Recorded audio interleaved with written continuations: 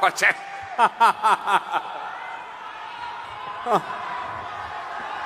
谢谢谢谢啊，谢谢啊！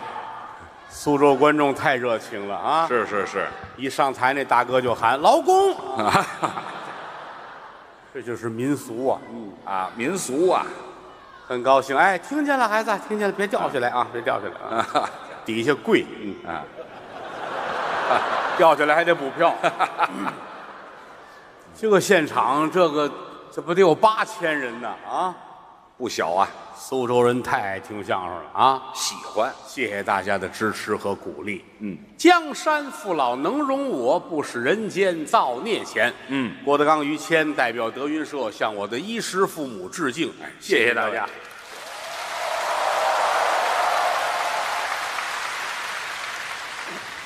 第一是要谢谢观众，是，第二是要谢谢于老师。哎，谢我什么呀？从小的时候就一起合作，嗯一路走来，就这半辈子风风雨雨，嗯感谢谦儿哥跟我在一块儿。哎，不敢当，谦儿哥不光人品好，艺术也是这份儿的。您捧我了，在中国相声界要谈论艺术，嗯于老师就是天花级别。啊，什么词儿啊？您这是？就是他在这个行业里边，他就是天花。我就是牛豆，我就是。不是，人都夸哟，这行里他是天花了，我这嗨，啊您听错了，那叫天花板。啊，落了个板字。对了，于老师就是相声界的板子，哎，我是相声界的棍子于老师就是相声界的柜子。啊，我就是相声界的箱子，行不行我？重说啊，啊，其实水平很一般，真的。哎嗨，我这怎么了？这说不清我。怎么夸都不行了吗？您这词儿没用对。我们很尊敬于谦老师哎谢谢你。啊，在这个行业里边，身份、地位、水平、经验，嗯，都是这份儿您捧我了。我我我可不是捧。比如说走在马路上，比如说我跟于老师走一对脸啊，是是，比如我啪，我给于老师来一嘴巴。嗯，举例子啊，不可能的事情哦我就形容人家这种身份。是我我走到苏州大街上，我看见于谦老师啊，一大嘴巴，哦这大嘴巴打的，比如说把耳膜打穿孔了，哎呦，不客气讲，嗯，一定得让我说对不起。光对不起啊。那还要怎么样？哎，这个，哦，就对不起了就。这个身份哦，不能轻易的打。想好了打也不成啊。就是一路走来，在我心中，我对于老师就是感恩两个字。您客气了。为什么说我们哥俩合作的愉快呢？嗯，于老师拿捏语言的尺寸是最好。哟，您看，您又夸我。我这句话说完了，不能等它落在地上，啊，于老师就得接着。这就是默契。就说话这个玩意儿，嗯这句话说完了，他没接住，节奏破坏，相声就不可乐。呃，这就没笑料了。他接的这个是最好。哎，您又夸我。比如说，我有一个盘子，嗯嗯，我无论扔到哪里，是。于老师都能给你叼回来。有时候也磕在牙上啊。你这叫什么比喻？这是玩笑，我这是发自肺腑的，我这是要要夸一夸您。啊？那您好好夸。我的艺术成功之路跟于老师是离不开的。呃，我们搭档我认识他那年我十六岁，还年轻呢。一晃半辈子。是是，十六岁的郭德纲其实是特别迷茫，迷茫。嗯，那个年头说相声也不挣钱，对，那时候不行。十六岁的孩子干嘛去呢？哦，干点别的，现学也来不及呀、对了，邻居有一个叔叔，嗯，那个叔叔跟我说，哦，现在好多人都到北京去发展，对，你要离开天津。哦，到北京来。我是天津人嘛，对，十六岁之前都在天津。是说你到北京去，有一个名词叫北漂。就是漂在北京的人。我说我十六岁，我到那儿，我我找谁呀、对呀，没有投靠。这个叔叔说，我认识一个说相声的年轻人，哦，他比你大四岁，他今年二十，是。这人叫于谦。哦，说的就是我。哎呦，就是这一句话。嗯，你去跟他们一起，小哥几个混在一块儿，哦，去努力，嗯，万一成功了，也对得起自己。说的不错就这一句话打动了我。哦。那，这个叔叔后来就是于谦老师的岳父。哦，就是我老丈人，你看我这么些年在舞台上，我没少提于谦他爸爸。呃，可不少。no，嗯，但是我从来没说过他岳父。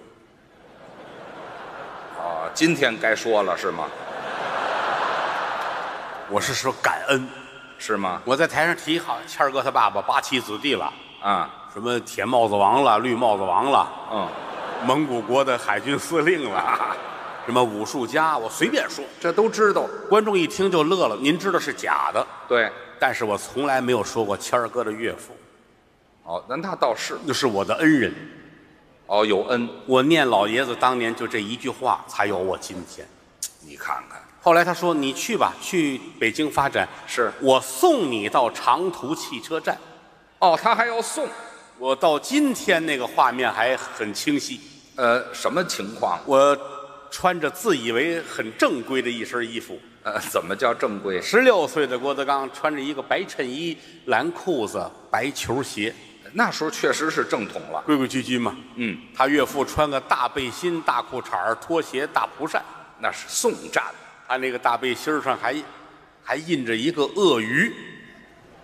哎，那时候这就是个牌子，四十五岁往上的人一定会有这个印象。是吧？当年的 T 恤衫和背心儿上，嗯讲究有一个鳄鱼。嗯，品牌，他说那是牌子，对对对，还争呢。是吗？说鳄鱼的头嘴冲哪边张着是盗版的，啊，有这么个讲究那，会儿很时兴。哎，左右的事儿。哎，他岳父这个背心上印着两个鳄鱼，就怕人说是盗版的，你知道吗？穿一大裤衩儿啊，大裤衩儿也印着鳄鱼、全是鳄鱼啊！壁虎、嗯，手工，嚯，这么多巨蜥。哎呀，好家伙，这点两栖类他都印裤衩上了。我说为什么您这么喜欢鳄鱼呢？是啊，他岳父说了啊，鳄鱼这个东西三个月不吃饭也饿不死，是啊，打开肚子五脏六腑拿出来放在边上，它还能爬行好几个小时。真厉害。作为人来说，难道说不应该向他学习吗？哦，它是一种精神。是是是，说话间就到了天津长途汽车站，哦，他岳父说：“车来了，我带着你往上冲。该上车，”那个年头上长途车的人怎么这么多呀？车挤呀、那会儿没有什么高铁、动车、私家车，没有。就靠长途。哎呦，来来，跟着我啊！嗯，我就送你到今天。是是车来了，他岳父在前边儿，人很多呀、是是是，往上冲。哎呀，往上冲，很遗憾，怎么呢？因为人多，啊，有人把他岳父的裤衩儿就扒下来。哎，那是往上冲，是往下拽呀、这是。他往上，就有人拉着他吗？哦哦，所以说大家都很尴尬那是肯定、啊，都很尴尬。是岳父裤衩儿拉下来了，得啊，人家扒他这种也觉得不合适。也愣了。啊你怎么不穿内裤？啊！哦，就穿一鳄鱼裤衩啊？他岳父也不好意思，说什么了？我也没想到你要扒我裤衩哎，这嗨，哦对，俩人出门都没算命。还人很多嘛。哦，我一看他表情状态不开心了，是，我给他买了一根雪糕。呃，冰棍儿我说您吃一根消消火，凉快凉快我也买了一根儿。啊，我们爷儿俩就在车下吃这根雪糕，是一边吃雪糕，他还跟我说了说什么呀？：“你看刚才挤车了吗？嗯，你今后的道路就是如此怎么了？啊，不会有人关照你，一切都是凭着自己往前冲。这都是道理。啪，嗯，雪糕棍儿一扔，吃完了，走，我们去追刚才那辆车。干嘛还追刚才那辆车呀？我说后边还有别的长途车呢，就说是啊，不行，就得追这个。为什么呢？我裤衩在车上呢，好家伙，哦，合着光着屁股吃根冰棍儿啊？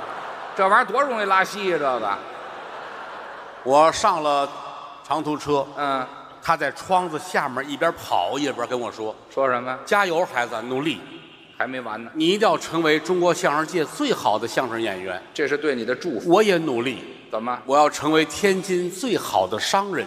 呃，哦，他是从商的，”他那会儿已经不在工厂上班了，哦，以前有单位，个体户。哦他，说他要自己做生意，下海了，一晃半辈子过去了，我很遗憾，怎么？我对不起你岳父对我的期待，什么意思？我没有成为中国最好的相声演员。哎，您太客气了，您这不不不不不不不，啊，呃，中国相声界比郭德纲强的，比德云社强的有的是。哎呀，有有有有有，怎么没有？那郭麒麟不是吗？啊，叫郭麒麟呐，啊，玩笑说玩笑，但是他岳父做到这一点。怎么他成为最好的商人？今天于谦老师的岳父是天津的首富，反正倒是有点钱，什么叫首富首富。啊？就是你第一个岳父。哎，什么叫第一个岳父？我有几个岳父？你有一个帽衫啊，哎，这还没有。在天津做生意的人们里边，啊他岳父是最有钱的，他算有钱，因为他不住在天津城里。这是什么衡量标准你看我这话啊，啊？为什么说他有钱？因为他不住在天津城里。这是因果关系吗？你要住在天津城里，三居室我趁八个，哦，两居室我趁十个，是那是有数的，哦，能数出来。那个不叫有钱。那他岳父住在天津城外，城外边哪儿啊有个地名儿叫黄崖关，那是盘山，就是天津跟河北省的交界。对，住在黄崖关往西二十四公里，那就是有一片原始森林。原始森林。对对对对对，他岳父在那儿盖了一个七进的四合院儿。好家伙，七进呐！我不知道你们谁对四合院有所了解？啊，四合院那一个院子，嗯，那叫一进；是，两进就是两个院子；哦，三进的四合院就是后边带花园、带鱼池了。这就厉害了。他岳父这个是七进的四合院，那这已经进了原始森林了吧？这个啊，后门开开才是原始森林呢。就在边儿上。他岳父每天七进七出，啊，赵云呢是怎么？的？白天在天津城里工作，哦。晚上回黄崖关休息。这一天可够折腾的。有钱人的生活是我们这些凡夫俗子不了解的。哦，咱们都不知道。他岳父啊，啊，早上四点钟就要起床，那么早起来啊，一个大生意人都是如此。时间管理比较好。早晨四点，他岳父起床，干嘛呀？把茶叶拿出来，哦，把水做开，哦要泡点茶，煮四百个茶叶蛋，再煮四百个茶叶蛋，因为一会儿吃早饭的客人们就进来了。摆早点摊儿的呀。事无巨细，大钱小钱都要挣。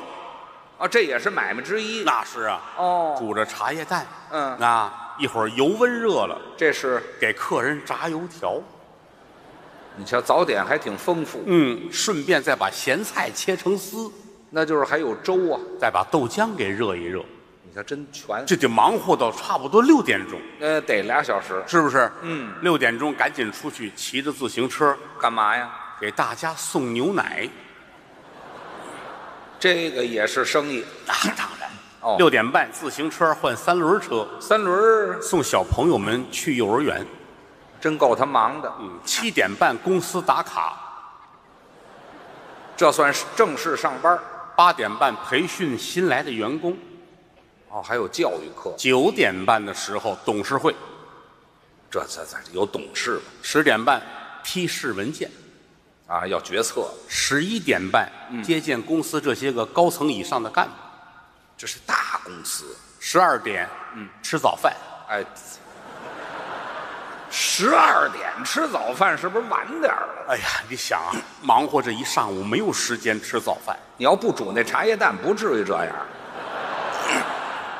吃早饭休息，啊。忙到大约中午一点钟，啊！一个钟头又要开始工作了，工作什么呀？准备茶水，哦，准备白袜子、嗯布鞋、腰带、大褂儿这干嘛呀？到小剧场去说相声，啊，这摊儿他也干，四十块钱也得挣啊！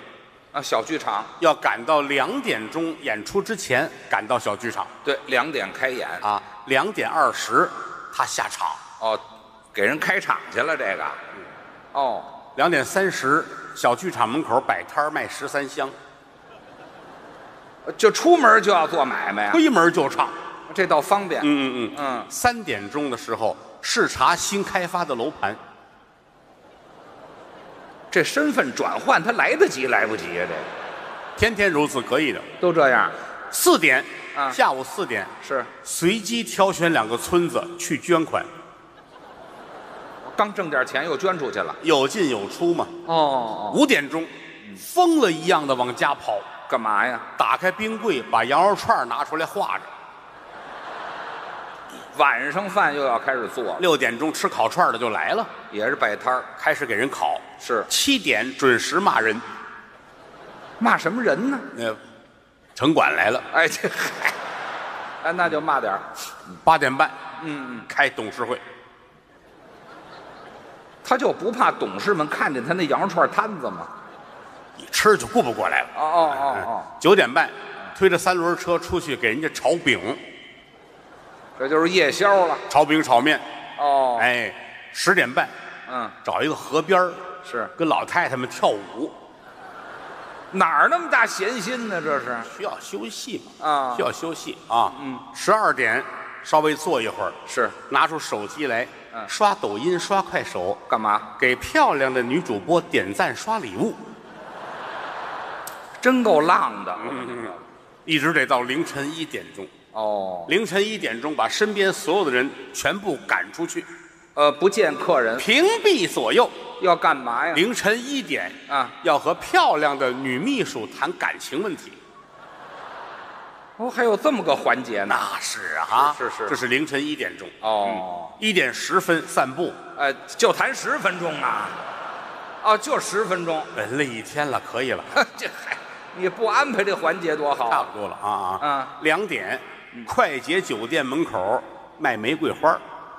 真够忙叨的。两点二十啊疯了一样的赶回黄崖关睡觉，还回去睡觉去？因为四点还得回来煮茶叶蛋。呵好啊！哎呀，全记着呢，这点儿。老两口子感情很好，哎，感情是不错。岳父岳母这一生，嗯一共是四个孩子。是。哎，他还哪儿有功夫生孩子呀？这一天，哎给女秘书才留十分钟。哎，行行行，可不是吗？那可那不重要。哦，活得有品质，有品质吗？这一点来说，是整个于老师他们这个家族所具备的。就具备这素质。我小的时十六岁，刚到北京啊啊，认识谦儿哥的时候，就他就让我大吃一惊，怎么呢？又，没想到怎么人跟人活着不一样啊？有区别吗？他他就是买什么都得去老字号，哎，那讲究，你买个咸菜，他告诉你到六必居；那儿好吃啊，感冒了买个药，他就要带着我去同仁堂。那儿正宗啊。哪怕说我去洗澡，他得告诉我，是我们到青花池。哎，那是老字号。北京城有一个清朝末年的老的洗澡堂，对对叫，青花池。没错，第一次去的时候，我很陌生。陌生谦儿哥给我讲，哦，看见这块匾了吗？有匾这三个大字叫青花池。写的就是这清光绪二十一年就有这块匾，那老澡堂。只有在这儿洗澡，啊这才是咱们的身份问题。对，准备洗，谦儿哥脱个一丝不挂，就是要洗嘛。我还是有点害羞的。第一次去谦儿哥说我啊，脱呀，对呀、谦儿哥，啊，咱还没进去。呢，啊门口啊，哦，还没进门，在门口就脱了，我们在马路对过，还隔着马路。大宽马路来回走六趟车那种。好家伙，他站在这边指着路那边，你看那块匾了吗？哎呀，倒霉就倒霉，眼神好上了。哎，那就跟着吧。啊。我给于老师抱着鞋，抱着衣服，哦，陪着于老师过马路。我就这么光着嗯嗯嗯嗯嗯，啊，很大气。是行，这嗨，别嘚瑟了，等进了清华池，于老师非常的谨慎，谨慎什么？看着每一个人，哦，干嘛？担心他们偷拍。我在门口的时候已经上热搜了吧？我，我进来还担心什么偷拍啊？在谦儿哥身上，我学到了很多以前不知道的东西。呃，长知识生活分三六九等，不一样。到今天也是如此。是吗？您到后台去看一看啊说相声演员都拿着一杯茶水在那儿喝，对，只有谦儿哥喝的是咖啡，我还习惯这咖啡的味儿，贵族品质。谈不到贵族。啊，这么些年来，我对咖啡我也接受不了，您不喜欢我，老觉得它很像板蓝根。不习惯那味儿。哟，谦儿哥坐在后台，是端着杯，啊，拿那个小勺，对，那个气质啊，是吧？怎么着？村里开会了是怎么着？我这敲钟呢是怎么着？哎呦，怎么看着？哎呦，啊，贵族品质，哦，和拢匀了，加奶加糖啊。啊，对，得加东西。谦儿哥端着杯，哎呀，我跟猪八戒学的喝咖啡似咱不理解。的啊。后来还听说于老师喝咖啡要喝手磨咖啡，这就更讲究了您给我解释一下。啊！喝就喝，干嘛还要手磨？你看，手磨咖啡有感情色彩在里头，喝着更好。我去吃早饭去，那油条得我自个儿炸呀，有感情。您这我到那儿，我给人煮四百个茶叶蛋，啊，谁呀、您这不是抬杠不懂，后来才知道，啊？这就是贵族的生活。反正讲究为了手磨咖啡，于老师每天早上啊，四点半起床，也不如我岳父，你知道吗？还差半个小时于老师在这儿躺着，啊。床头里边站着四个管家。这管家干嘛呀？这四个管家穿西装打领带，戴着墨镜，白手套，哦，四个人站那儿看着你睡觉，是守灵来了是怎么的？得看表啊，看表干嘛？怕你耽误了磨咖啡呀、等着叫我起床。一看四点半了，是哥四个啊，到点了，嗯，哦，意识一下，可以了。你叫吗？孙子啊，对，什么呀？怎么什么称呼这是？先生，哎，好，我一句一句都没听清楚。先生到点了，嗯，请您手磨咖啡。开始了。这是大户人家的生活。啊，叫我起床。哎，这个贵族这才起床，贵族，你瞧贵族这德行。四个管家在前面走，哦，后面跟着贵族。是，哎，还呀，还还行行，贵族回来吧，没醒呢，是怎么着？就在旁边的房间，哦进门地上铺着毯子，哦，这是磨咖啡的房间。专门有屋子。屋子正中间，嗯，摆着磨咖啡的机器，嘿，你这机器什么样啊？是两块圆形的石头，呃，怎么摆放呢？上面一扇儿，嗯，下面一扇儿。哦，哈哈您说这一扇儿一扇儿的，我就明白了。对，哈哈哈，旁边还多出一个棍儿来。对对，没有这棍儿怎么扶啊？哎，啊，贵族过来扶这棍儿，你看怎么样？还是没醒哎，这儿扶好了。啊？管家从怀里掏出丝巾来，这是什么环节？给贵族蒙在眼睛上。哎，这是怕贵族偷吃啊。贵族一回头，嗯，点头。嗯这时候铃铛就应该响了吧？贵族站好了，嗯，管家过来，哦，快，我这上脚啊，怎么踹上？开始一圈一圈的磨咖啡，哎，这叫磨咖啡呀、一会儿就磨完了。那是，磨完之后呢，再续上四百斤黄豆。哎，对，主要是为磨这黄豆哎，待会儿手磨咖啡得了。啊。先是有咖啡，贵族坐在这儿，可以了，太厌气了，了不起的人生。这就了不起旁边这个四个管家还得问：啊！今天您做什么消遣呢？哦，就要玩什么？问你今儿玩什么？对了，贵族想了想，嗯，游泳，哦，喜欢游泳，游泳。是运动嘛？像咱们游泳就简单了，啊，随便找个地儿。他一说游泳，四个管家得给他查，查什么呀？是青岛，是大连，是哦威海，是广西。哦，要去海里人家家里边有私人的游泳的这块地方，海滩，给您查好了，说今天青岛好，好啊，私人飞机给于老师就送到青岛了。了不得了，哦，整个这一块儿游人都清开了就自己的海滩嘛啊，那个摆上桌子、太阳伞，啊，什么水果、哦啤酒、饮料，全有啊。这边还站着二十个女服务员。这二十个女服务员干嘛用？就是为了伺候您的。哎呦，全是佣人，哎呀，一会儿贵族就来了是吗？啊！到这儿贵族高兴是啊，啊，脱个一丝不挂，哎，我干嘛还脱个一丝不挂？待会儿穿上游泳裤衩就得下海了。干嘛待会儿穿？家里穿完了啊？那怕什么的了啊？到海边感受一下海风嘛。你感受海风了？那二十个服务员是买票了是怎么着？这二十个是您雇来的，在啊您眼中不重要。不重要就看啊。他们站好了，哦，于老师一丝不挂，是。哎，行了，行了，这不是不重要，我还得给人亮个相去上那儿。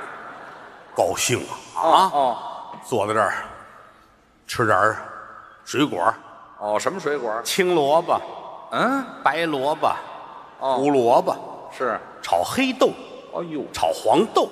啊，哎，吃完之后喝瓶凉啤酒，我这全全活儿哎，吃饱喝足了，哎，这才下海。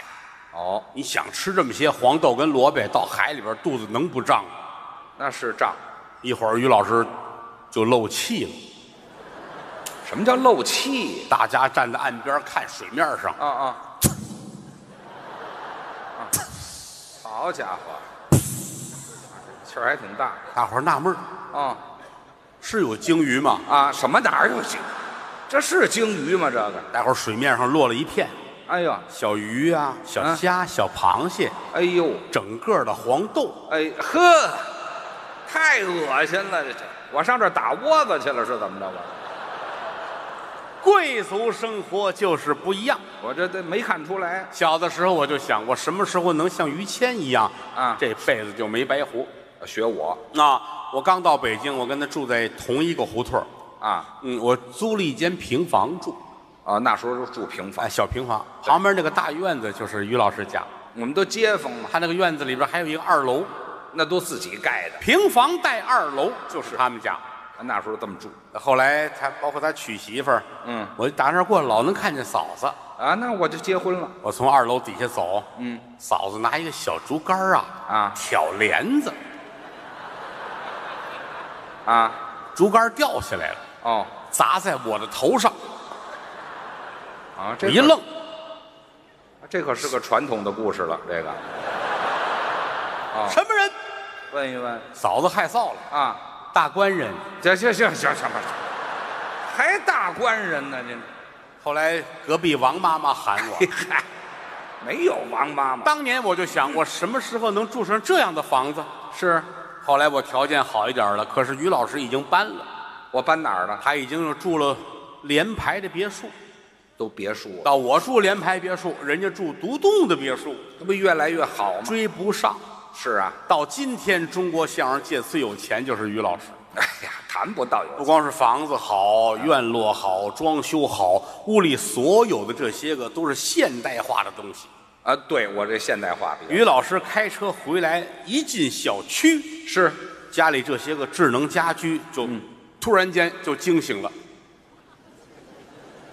我一进小区，家里边的智能家居就有反应。这多神奇呀、是啊，于老师的车一进小区还没到呢，是啊，啊，他那个智能的大门哦，就说话了说什么：“呀？欢迎回来，嘿，欢迎于老师回家，智能啊！你们快一点。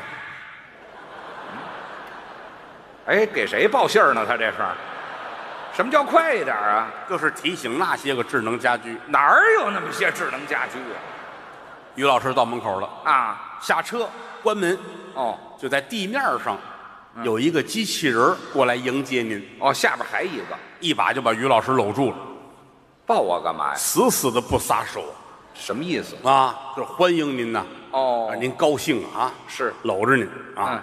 于老师，这这哎我得正吧？哎嘿，啊，机器人回头，啊，快点快点快点，还有一岗呢，这儿，快弄不住了，快。点！你看这口吐人言，你看这玩意儿啊，老半天，于老师。这这张蹦开了。讨厌，啊。噔噔噔噔上楼。哦，啊，到楼上把自个儿鞋脱了，嗯，换上拖鞋，是，站在门那儿。哦，按说这个门就应该自动打开，那是今天有点问题，扫描坏了。因为您这个眼睛最近上火，眼睛红了，哦，那这不行了。啊，眼睛红不行，别的地方脸上有粉刺，脸也不行了。牙上有韭菜，哎呦，手指头又爆皮儿，我都这样，我就别出门了，好不好？等着吧。又等了二十分钟，嗯，门开了，哦，欢迎于老师回家。这才进来。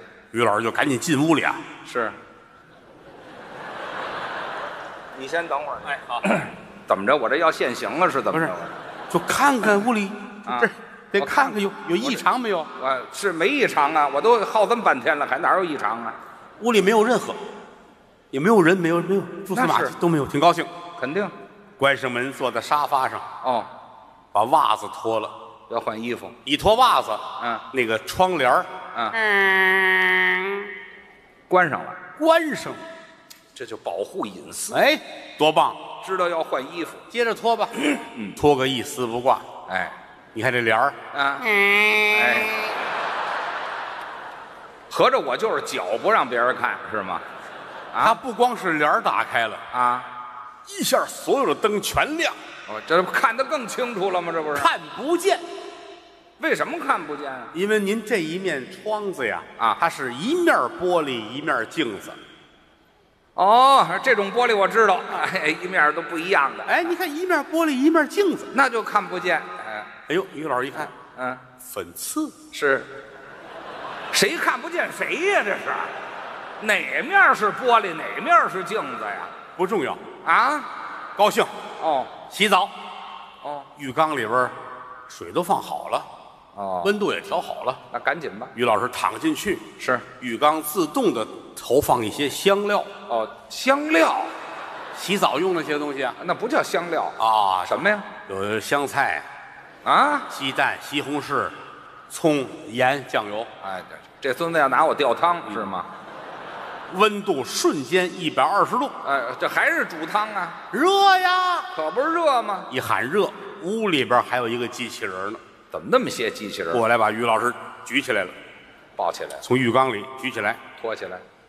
哎，对，抖了抖了身上的鸡蛋花儿嗯嗯嗯，转身拖着您往外走，出去，送您上医院去检查身体。怕烫伤，打屋里出来，走到楼道，是哎，站在这儿，啊去你！扔出去了。我用它扔我呀？这个机器人不能下楼，不能下楼，他抱我出门干嘛？楼下有机器人接您呢。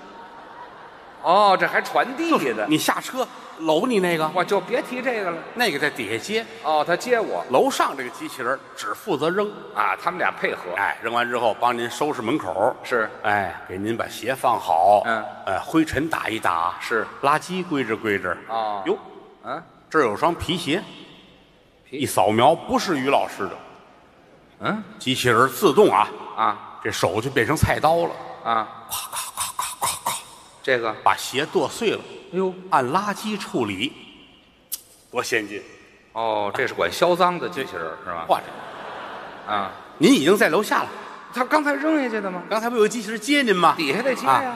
哎，哎，接住了，没接住啊？啊，这行行可以了，给谁瞧回去？不不不用这么大馅儿。赶紧过去给您啊抱起来是，啊！在于老师的身后搂着于老师的两条腿，把人抱起来。你等一会儿，你好的，咱琢磨琢磨这姿势啊。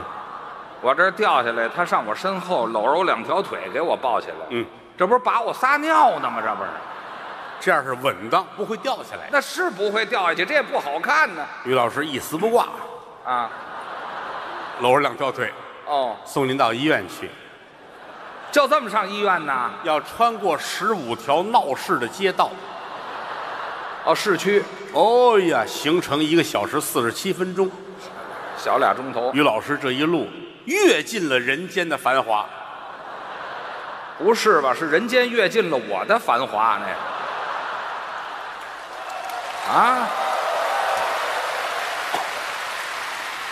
到医院啊，给您一检查，嗯，这个检查的也是机器人的医生，你小全都自动化，只有您有这个身份呐。哦，哎，给您检查说没事儿没事儿就好。机器人医生检查快，没烫伤。那好，唯一的遗憾就是您的肾有点问题，那就赶紧调理。需要处理。好，咔就切下来了。哎，切下来了，太粗鲁了吧？这个切下来之后，医生还跟您商量呢，是需要切下来吗？啊，这切完了还商量什么呀？嗯嗯，啊，拖着您这肾就出去了，哦，五分钟回来，干嘛？给您拿回来四十万。哎，我卖肾去了，可 于老师高兴啊，嗯，四十万，今天我要把它全花掉，哦，把肾都花了。我要花掉它。啊，消费哎，拿着四十万，您就到商场去了。是是是，我要买一个眼药水，买眼药水儿？眼睛是红的。啊，这得治，我要买个粉刺针，这干嘛？弄脸上粉刺。啊，进不去门，我要买个牙签儿，嗯，踢韭菜。这都没有。我要买一个小锉锉手上。哎，好，哎，我还要买一根绳子，绳子，把一楼的机器人捆上。哎，就就它不是东西，嗯，我还要买鸡蛋、西红柿、黄瓜、葱，回去这做回去做汤。但这不必要吧？浴缸里都已经做好了，哎，嗯，这是卖那个按摩椅的，喜欢这个这按摩椅很好。是吗？哎，这是专门按摩肾的。那可以于老师坐那儿了啊，让椅子给推起来了，怎么呢？没有肾。哎，这嗨，没找着。嗯嗯，刚站起来一回头看见我了。您来了？哎，哦，德刚你来了，对呀、谦儿哥您好，打个招呼。你来买东西是对，您这是要干嘛呀？啊，我有四十万，我一会儿把它都花了。对对对，哦，您开心就好。好，德刚，你买什么呀？是啊，我买双皮鞋，我那哦鞋坏了。我这去你的！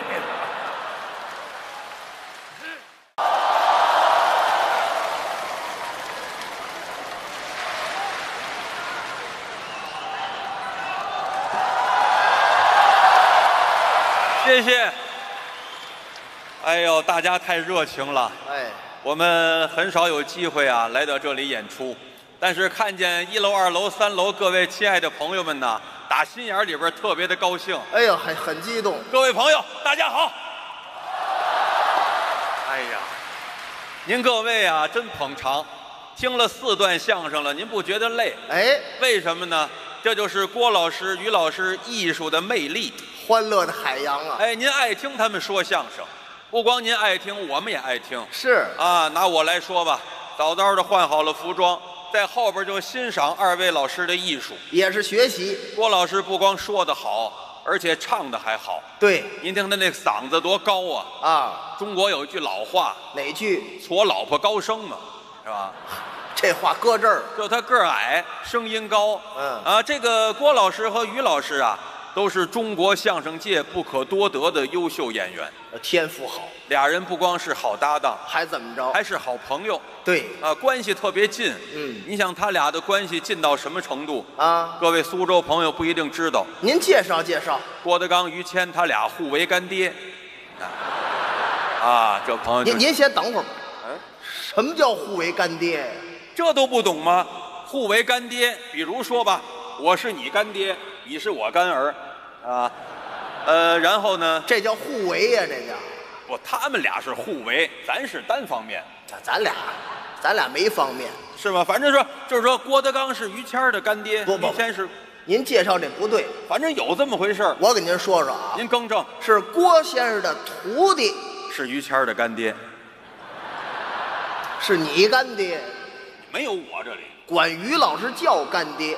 郭老师的徒弟们管于谦老师叫干爹，对，于老师也有徒弟。于老师的徒弟管郭先生叫干爹。哦，这么互相的，他说这对。嗯我在后台就听见过，郭老师的徒弟，比如说吧，郎鹤炎、孟鹤堂、张鹤伦，还有你，见着于老师不叫于大爷，叫干爹，显着关系近。就是这辈分。于谦的徒弟管郭德纲叫干爹，嗯，比如郭麒麟呐、什么郭汾阳啊，行行行行行行，那是亲爹，叫我吗？叫谁叫？就他拜完于谦儿，这边就变干爹了，没听说过。不是这么回事啊。哎反正证明他俩人关系特别密切。对，郭老师不光是一个相声的好演员，还是一个相声的好作家哦，写了不少好相声。啊。郭老师这些年那叫笔耕不辍，嗯写了很多优秀作品，他和他的徒弟们都在演。另外来说呢，还是个相声教育家。啊，郭老师的徒弟特别多，啊，他就是郭老师徒弟，对，比较有代表性的，他是郭德纲老师的爱徒，哎呀，惭愧了，呃，那倒是，是吧？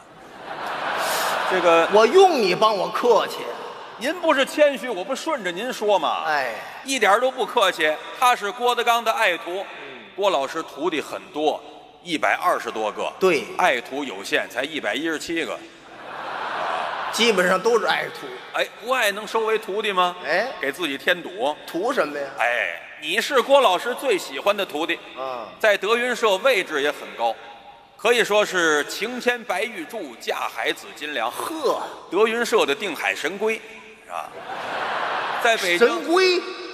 对呀、这词儿叫定海神针，那我说错了，我记得有个什么神龟？忍者神龟，啊，您是忍者神龟，你才忍者神龟。你不在这儿自我介绍。您想说的是定海神针，定海神针，哎孙悟空的金箍棒，嚯定海神针要大就能大，要小就能小，这是咱们特色。说的就是你。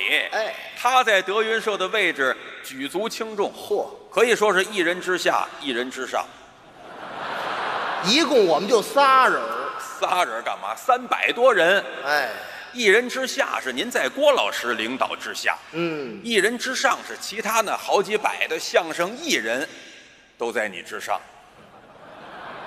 我听我还是最后一个儿。不不不不，口误有点激动。你在他们之上啊你管着他们呵，啊，这是德云社最了不起的人物。最了不起，他师傅、他师娘有点什么事儿都跟他商量。我们爱聊天儿他师娘是天津人，爱徒过来，一喊爱徒，别的徒弟不敢过来，他舔着脸过来了。师娘什么事儿啊？什么叫舔着脸？爱徒过来，你说我跟您师傅现在这情况还要三胎吗？家务事也跟我说呀，表示尊重你，没听说。大事小情反正都离不开你。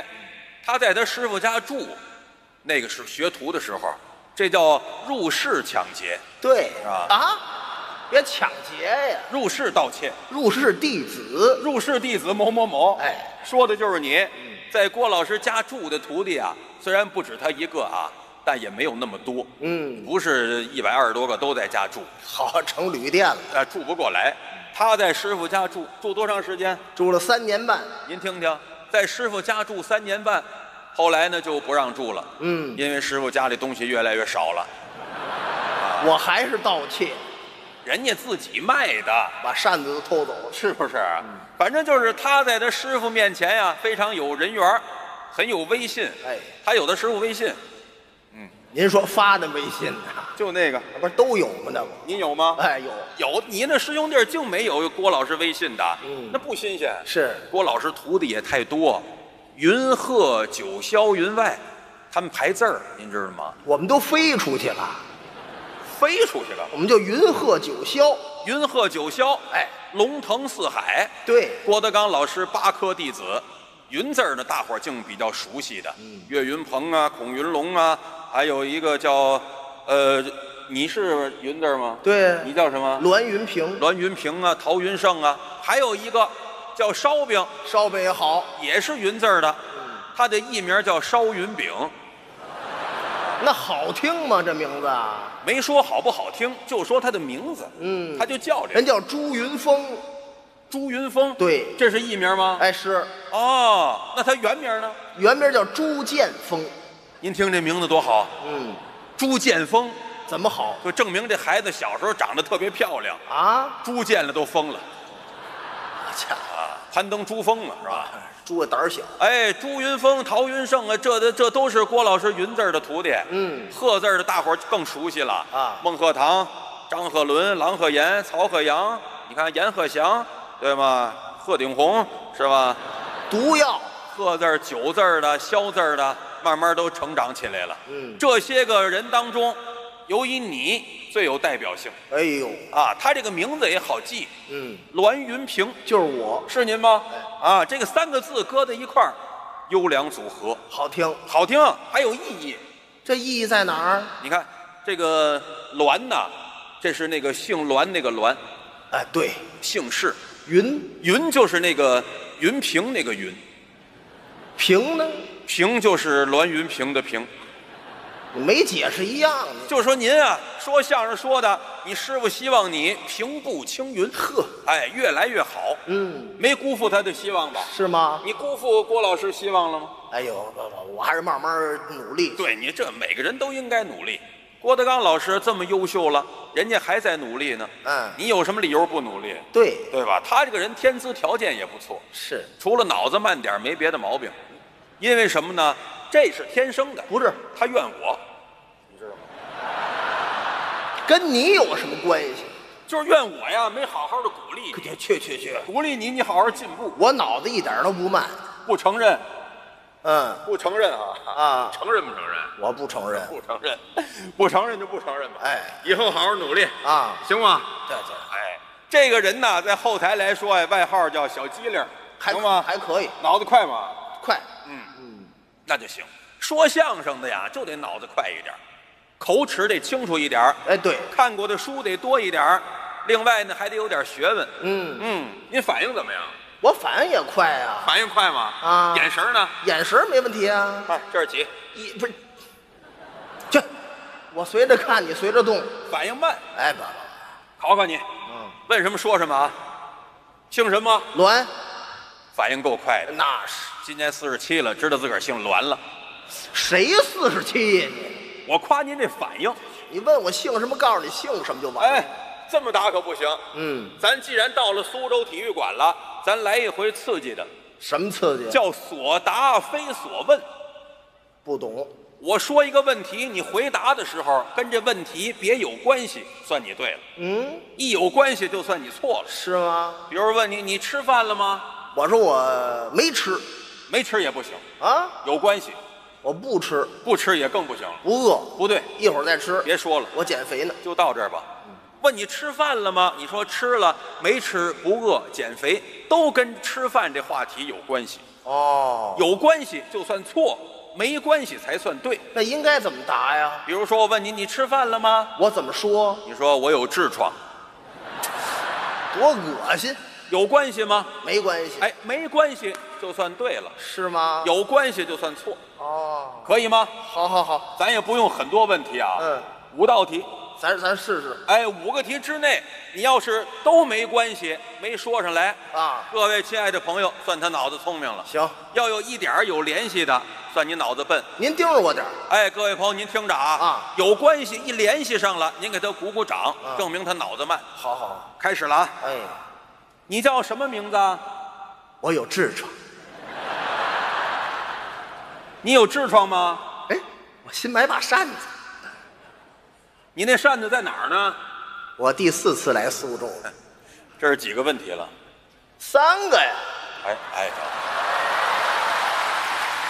啊？这就是脑子慢，你知道吗？什？么脑子慢？哎，观众朋友鼓掌了，你脑挨上了。哪儿挨上了？你看，这是几个问题了？三个呀。这不挨上了吗？哦，这也算一题呀？这是第四题啊，一共几个题啊？说五个五个到五个了吗？没有？没到五个都算数啊，哟，承认不承认？那我没留神，哦，我没留神，留神呢？留神我错不了。留神你也得挨上，这回我得精力集中了吧？精神集中啊！嗯别想别的了啊！哎，开始，叫什么名字？灯泡还真亮，今天星期几？三个话筒，你那扇子找着了吗？新买双鞋。几个问题了？Thank you very much。又错了吧？没有啊，哎，错了，这不乱吗？这不，脑子太慢呢。哎呀，这都是冷冷不丁净净问这个，这回承认不承认？不不不能承认。还是不承认？哎啊，慢慢锻炼吧。嗯慢慢锻炼你你慢慢努力吧。嗯说相声的脑子就是得快点儿哎要不然说学逗唱四门功课你完成不了。对啊，刚才这个郭老师给您展示了，嗯说学逗唱的唱叫太平歌词，是，其实还有一门也是说学逗唱的唱，这是什么呢？叫数来宝。哎呦，这也好听。哎，数来宝跟太平歌词有区别。嗯太平歌词有旋律，哦有腔有调。数来宝没有旋律，嗯但是有板有眼有节奏。哦，相当高的艺术性。哎，后来呢就发展成为快板儿和快板书，是也是风靡全国，嚯，非常有意思。哦呃，来到苏州了，我有一个小小的心愿，您又高兴。我想给大家唱一段快板书，您欢迎不欢迎啊？好，这个真我也是突发奇想啊，真的啊我我都我都得给您鼓鼓掌。为什么呢？我们德云社唱这快板快板书的啊啊还就是这这个高峰老师。说的是我，原来有三位那两位呢都死了，都死了。他的意思是为了突出我，对那两位都是他给掐死的。哎，他一会儿我也掐死。哎，咱就是说我吧，给您唱上一段，嗯。啊，你也别闲着，我伴舞，伴舞也可以啊，因为快板啊分为风格流派，对。你在这儿啊，连给大家普及普及，哦。你连猜一猜，行，好吗？伴舞的时间是来不及了。既然说唱快板呢，就得有伴奏的乐器，还有乐器，还有乐器，看德行，学我干嘛？你没见过，拿起来之后，观众就得鼓掌，你不信你看着啊，嘿，谢谢朋友们啊，还真有鼓掌。的这叫七块竹板儿拿它伴奏，给您唱一段快板儿啊。啊！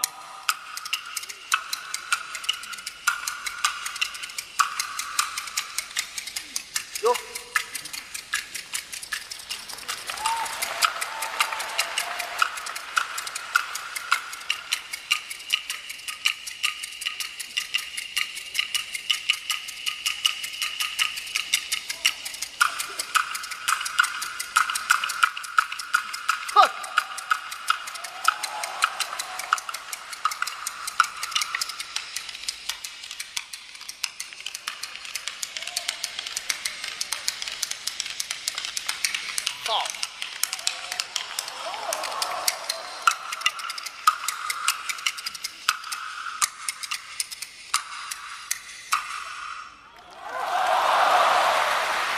还真是好板儿。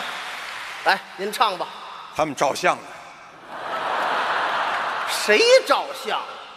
人家人家自自拍呢，是不都是自拍吗哎，？都是自拍。哎呦，太尴尬了。那就我给您正式的给您演唱一段啊。哎，你听这是哪段啊？说星期天我到郊区，看见了一个蝈蝈，一个蛐蛐儿啊，他俩在那儿吹牛皮。行了行了，这个蛐蛐儿说：“哎呦嘿，我在南山一口吃了一只斑斓虎。”呵这个蝈蝈说：“嗯在北山呐，我一口吃了三头骆驼，两匹驴。行了，别吃了。别别别，”干嘛？这小段儿，问你是哪段儿？这就是啊，说大话吹牛皮。哦一个蝈蝈一蛐蛐儿，最后得我也喂了鸡，就这么这么一小段儿哟呵，是啊？行啊你啊，这都没有什么派不派。这段谁教给你的？嗯，听你父亲唱过吧？你这叫什么话呀？就是说这你都会，这我啊压箱底儿的，这这破段子压箱底儿。这你都会。哎呦，我这我再给你换一段张万年有这录像的。对我我给换一段啊换一段他没录像的啊听这个啊啊啊跟才刚那个不一样了啊。才刚呢。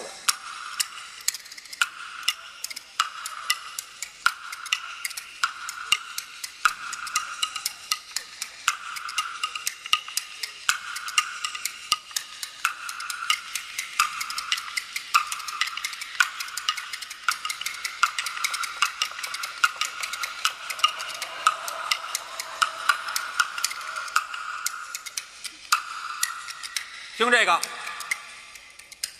二十一岁的小寡妇，小段儿找性没神儿，思想起了奴家好命苦，握着过了门的范白裙儿，死了那个栾云平儿，过了门的像话？有这段儿，什么叫死了那个栾云平儿啊？这不词儿吗？不是正字儿是死了那个当家人儿，当家人就栾云平儿，没听说过。是吧？这段儿啊也是个小段儿，这是哪段儿？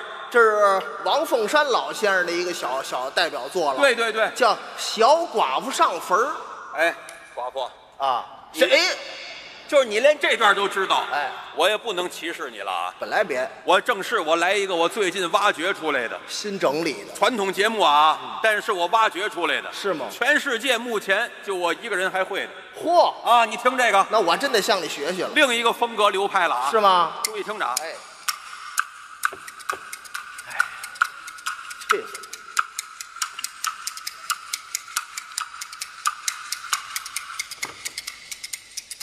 这个同仁堂啊，那开的本是老药铺，先生这个好比甩手自在王，药王爷就在当中住，还唱。持着名医呀，列着两旁，先拜这个药王，后拜你，你是药王爷的大徒弟，这个药王爷他这本姓孙，这个骑龙跨虎，手捻针呐，内科的先生孙思邈，外科的先生华佗高。这个孙思邈，这个一道高啊，三十二岁，这个保当朝。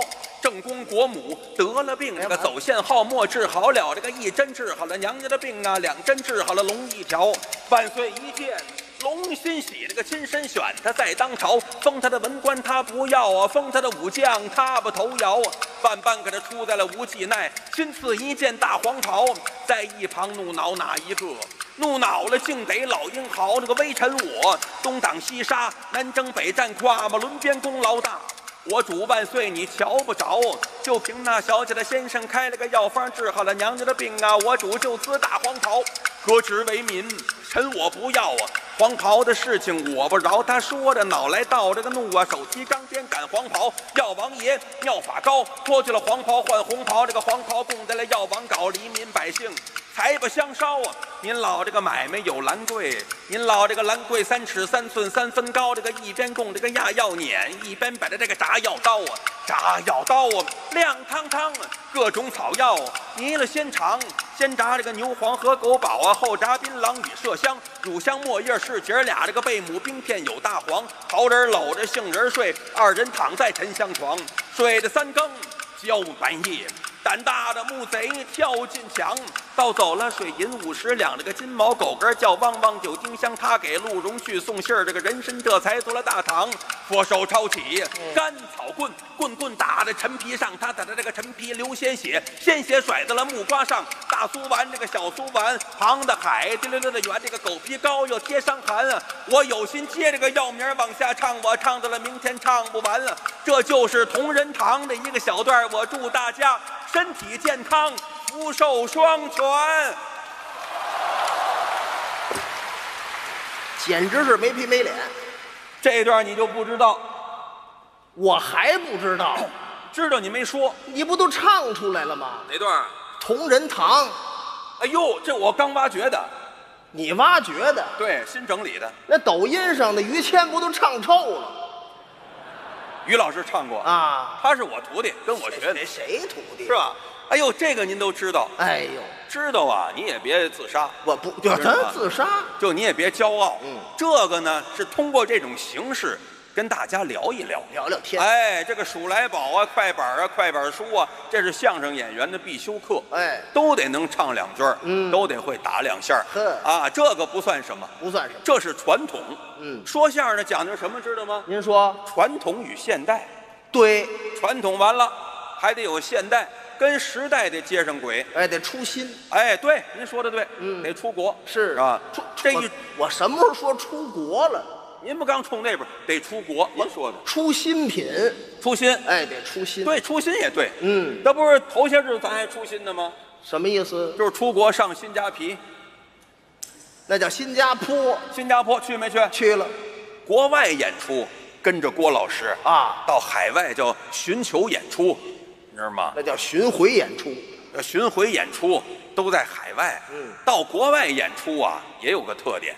这特点是什么？剧场里边都是华人，对，用普通话可以交流。嗯，你要到大街上，竟是外国人啊。到外国人的堆儿里头，你要再说普通话，人家不一定懂。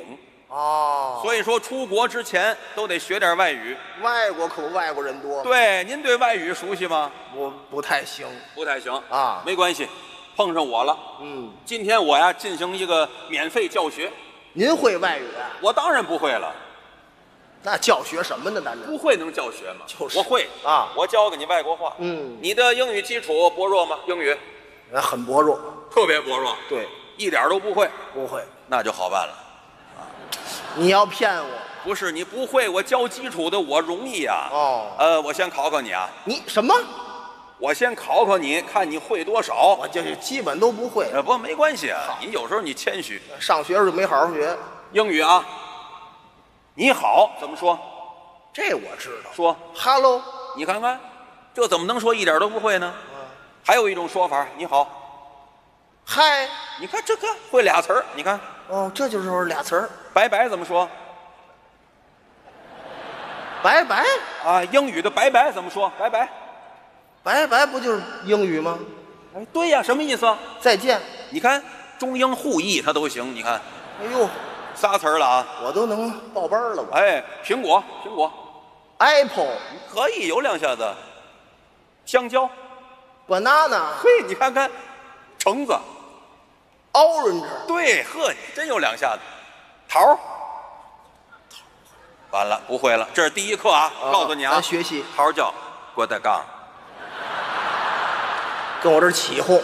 桃儿头，桃儿头我，那不嗯没听说过。让你放松。桃儿啊，英语发音，桃儿叫吃屁，peach，peach，怎么这里还有吃屁？不是，英语竟是倒装，我给装反了。哈哈，peach。，peach。哎，行，发音比较准确。嗯，冰箱，说呀，不会，我不会。不会，您说出来，我巧蒙眼，我看不见动作。冰箱啊，冰箱叫 fridge，please read after me，fridge，我有有点儿有点叠读啊。啊，Please read after me, fridge.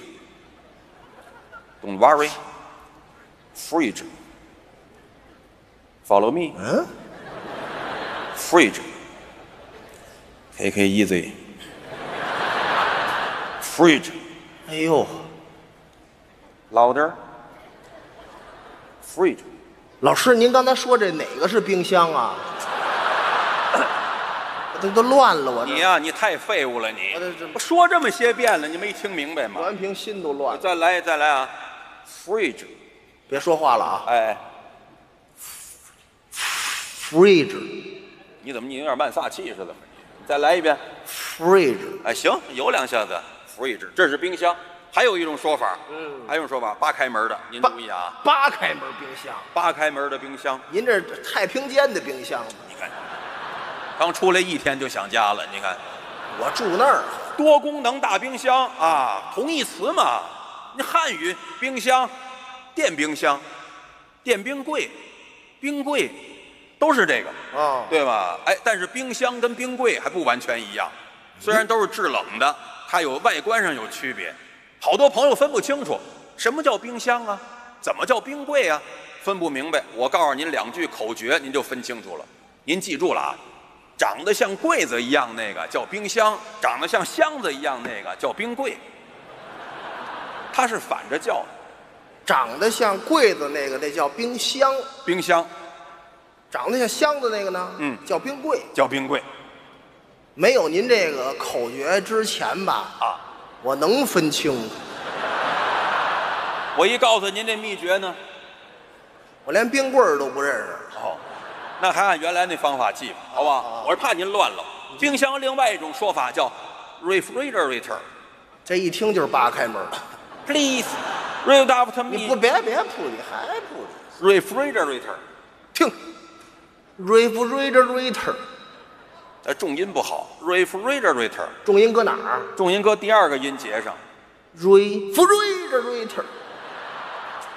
这有点那个什么心律不齐那感觉。哎呦，那我行，你记住这就行了啊。嗯呃，这就说明英式英语跟美式英语还是有区别。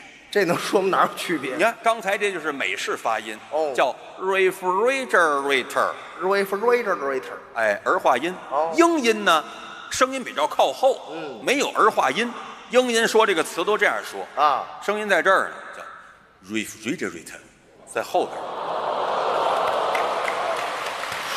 不一样，它不一样。您是大师啊，您。是哎呀，您别客气，大侠。它有点区别。啊。哎，它这个英式英语，它英语英语，它不叫美语呢，对。它叫英语。要英语，英国人穿着西服，拿着这个一讲，他是非常的有意思的。有意思。啊，。有意思，它这是白的，好比这有一溜词儿啊，啊。好比有词儿啊，讲起来都是这样的。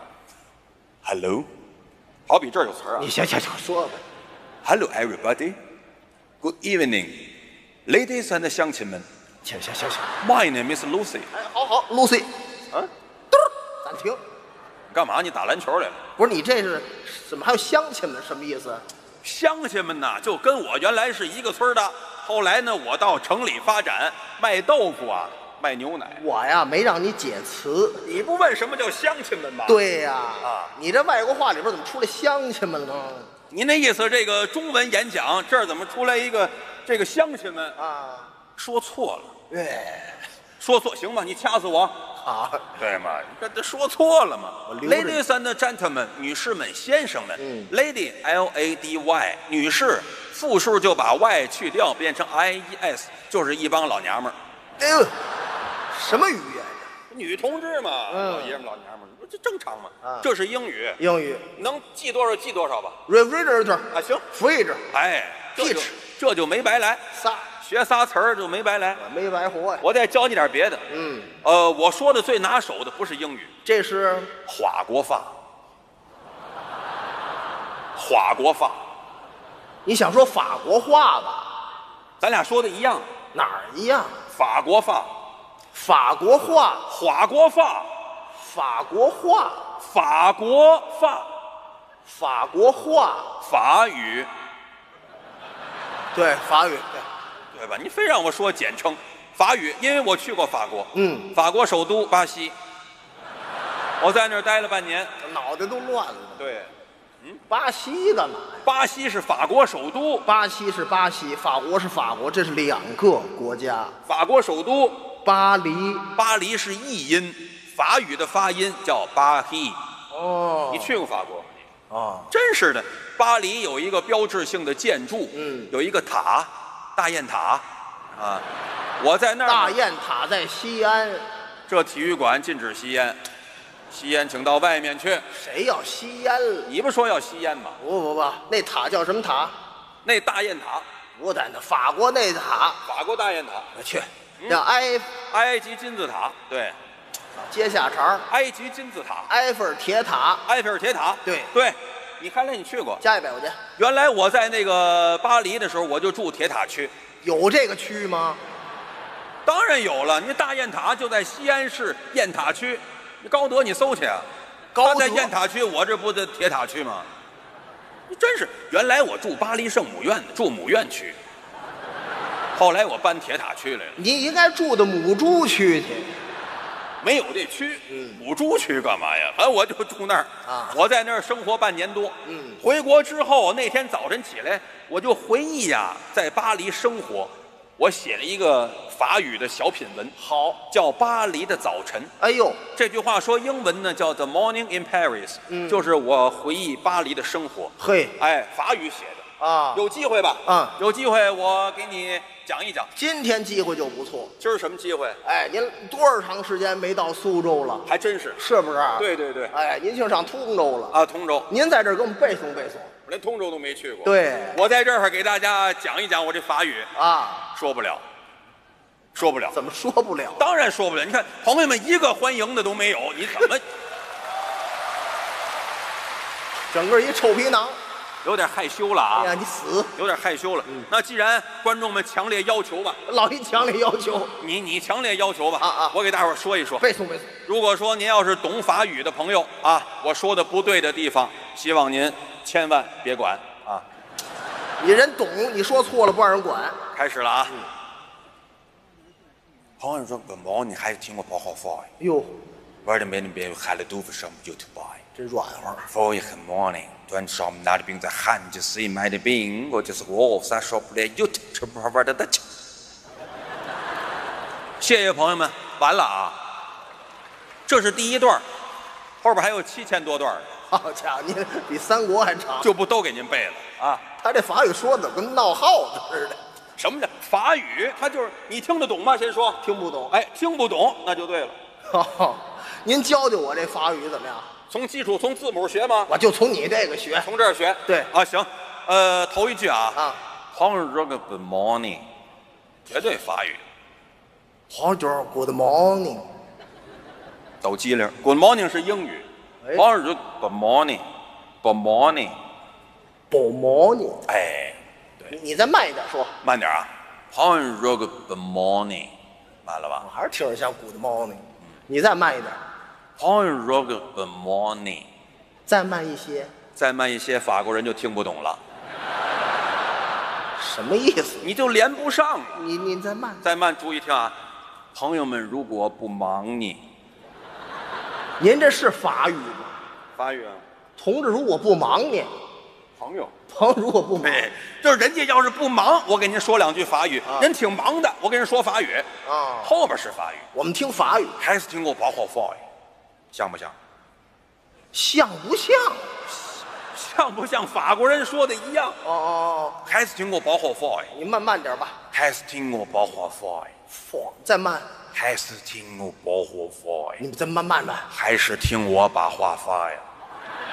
还是听我把话发。发话用法语。咱这法语在哪儿呢？我这每天别有喊 le d o v a le d o v a the important word le d o v a 我这每天别有喊 le d o v a 再慢点吧。我这每天别有喊 le d o v a 什么都，我是每天必须喝老豆腐。